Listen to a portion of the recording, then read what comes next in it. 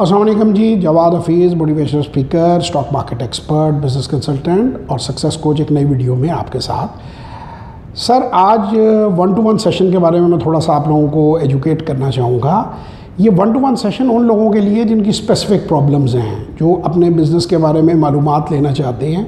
तो वो zero three three three four two four two three four six पे WhatsApp करेंगे।